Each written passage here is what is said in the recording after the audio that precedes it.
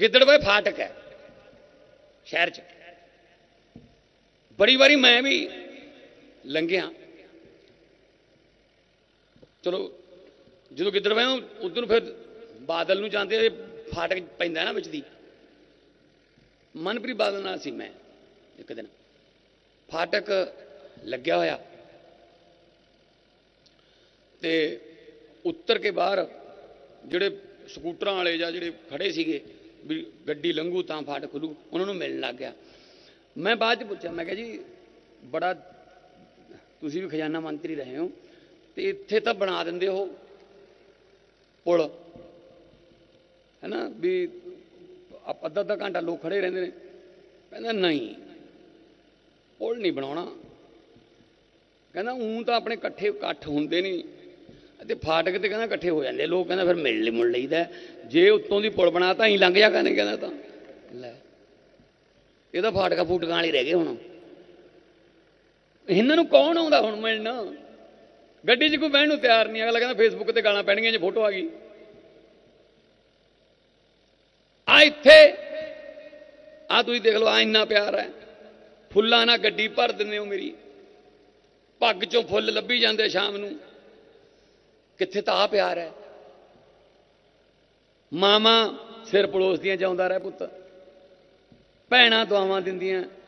ਨੌਜਵਾਨ ਮੁੰਡੇ ਮੋਢੇ ਤੇ ਹੱਥ ਧਰ ਕੇ ਸੈਲਫੀਆਂ ਕਰਾਉਂਦੇ ਆ। ਇੱਕ ਪਾਸੇ ਤਾਂ ਪਿਆਰ ਹੈ, ਦੂਜੇ ਪਾਸੇ ਆ ਬੀਜੇਪੀ ਵਾਲੇ ਆ। ਆ ਕਾਂਗਰਸੀ ਹੈ। ਇਹਨਾਂ ਨਾਲ ਇੱਕ ਵਾਰੀ ਹੱਥ ਮਿਲਾ ਕੇ ਬਾਅਦ ਚ ਉਂਗਲੀਆਂ ਗਿਣਨੀਆਂ ਪੈਂਦੀਆਂ ਨੇ, ਪੂਰੀਆਂ ਨੇ ਜਾਂ ਲੈ ਗਏ ਇੱਕ ਅੱਧੀ। ਆਹ ਹਾਲਤ ਹੈ ਇਹਨਾਂ ਦੀ। ਕਿਸੇ ਨੂੰ ਨਹੀਂ ਜਿਉਣ ਦਿੰਦੇ ਇਹ। ਕਿਸੇ ਨੂੰ ਨਹੀਂ ਵੱਡਾ ਹੁੰਦਾ ਦੇਖ ਸਕਦੇ। ਤੁਸੀਂ ਦੱਸੋ ਬਜ਼ੁਰਗ ਬੈਠੇ ਆ, ਤੁਹਾਡੇ ਪਿੰਡ ਕੋਈ ਘਰ ਵੱਡਾ ਹੋਇਆ, ਛੋਟਾ ਹੀ ਹੋਇਆ ਹੋਊਗਾ। ਨਾ, ਜੇ 25 ਕਿੱਲੇ ਆ 20 ਰਹਿ ਗਏ ਹੋਣਗੇ। ਕਿਸੇ ਨੂੰ ਨਹੀਂ ਇਹ ਤਰੱਕੀ ਕਰਨ ਦਿੰਦੇ। ਚਲੋ 25 ਕਿੱਲਿਆਂ ਵਾਲਾ ਤਾਂ ਫਿਰ ਵੀ ਜ਼ਿਮੀਦਾਰ ਢਾਬਾ ਨਹੀਂ ਛੱਡਦੇ ਕਿਸੇ ਦਾ ਯਾਰ। ਕਿ ਕੋਈ ਕੋਈ ਰੇੜੀ ਤੇ ਸਮੋਸੇ ਵਿਕਣ ਲੱਗ ਜਾਣ, ਉਹ ਕਹਿੰਦੇ ਸਾਡੀ ਹੈ। ਯਾਰ ਕਮਾਲ ਹੈ। ਲੋਕਾਂ ਦਾ ਨੂੰ ਤਰੱਕੀ ਕਰਨ ਦੋ, ਸਮਾਜ ਉਦੋਂ ਤਰੱਕੀ ਕਰਦਾ ਜੋ ਸਾਰੇ ਤਰੱਕੀ ਕਰਨ। 45000 ਨੌਕਰੀਆਂ ਦੇ ਕੇ ਆ ਤੁਹਾਡਾ ਪੁੱਤ, ਤੁਹਾਡਾ ਭਤੀਜਾ, ਤੁਹਾਡਾ ਛੋਟਾ ਵੱਡਾ ਭਾਈ ਤੁਹਾਡੇ ਸਾਹਮਣੇ ਖੜਾ 45000 ਸਰਕਾਰੀ ਨੌਕਰੀਆਂ ਦੇ ਕੇ। ਔਰ ਇੱਕ ਘਰ 'ਚ ਕਈ ਦੂ- ਦੋ ਦੋ ਵੀ ਮਿਲੀਆਂ, ਭੈਣ ਭਾਈਆਂ ਦੋਨਾਂ ਨੂੰ ਮਿਲ ਗਈਆਂ। ਨੰਬਰ ਆ ਗਏ। ਤੁਹਾਡੇ ਪਿੰਡਾਂ ਵੱਲ ਵੀ ਮਿਲੀਆਂ ਹੋਣੀਆਂ ਨੌਕਰੀਆਂ। ਹਾਂ ਕੋਈ ਪੈਸਾ ਨਹੀਂ, ਕੋਈ ਸਿਫਾਰਿਸ਼ ਨਹੀਂ। ਵਾਅਦਾ ਕੀਤਾ ਸੀ ਵੀ ਰੋਜ਼ਗਾਰ ਦੇਵਾਂਗੇ।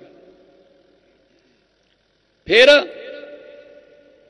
ਬਿਜਲੀ ਤੇ ਆ ਜਾਓ। 90% ਪੰਜਾਬ ਦੇ ਘਰਾਂ ਨੂੰ ਬਿਜਲੀ ਦਾ ਬਿੱਲ ਜ਼ੀਰੋ ਆਉਂਦਾ ਹੈ।